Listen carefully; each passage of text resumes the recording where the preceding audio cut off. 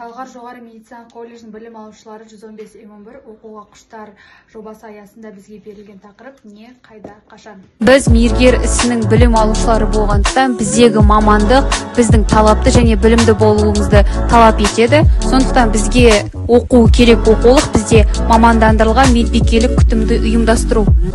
Және осы айтып отқан сөзіме толық анықтама беретін болсам біздегі осы мейіргер ісі біздегі ә, ұқыптылықты тазалықты және де ә, бір талабы зор бір ә, маман иесі деуімізге болады және де біз өз ісімізге адал және ұқыпты болуымыз керек.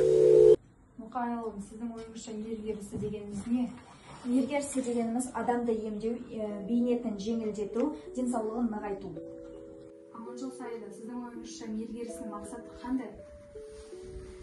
Жалпы осы мейіргер ісінің мақсаты негізінде осы ә, дәрігердің нұсқаулығы бойынша ә, пациенттерге көмек көрсету яғни оларды препараттарды немесе дәрі дәрмектерді уақытылы қабылдау және де операция бөлімін дайындау алғашқы көмек көрсету сол сияқты мақсаттарды алғашқы көмек ретінде көмектеседі.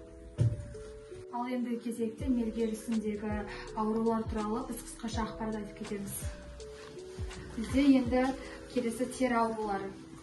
Бізде осы тері ауруларына біз оның ә, герпестерді жатқызуымызға болады әртүрлі құшмаларды құтырмаларды жатқызуымызға болады және де олардың пайда болу себептері бізде жанасу және де адамнан бөлінген бір қышқылдардың әсерінен және де ауа райының реттілігінің болмауынан сенжаппара мадина сіз ішкі аурулар туралы не айтып кетуіңізге болады?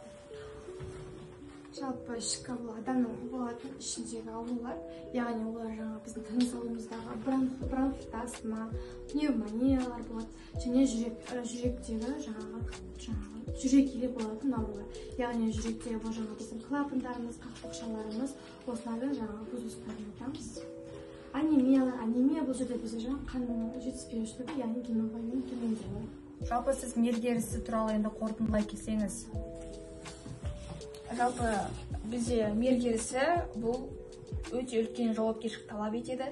Бұл мамандық оңай мамандық емес. Біз өзіміздің ақ халатымызға адал болу керекпіз.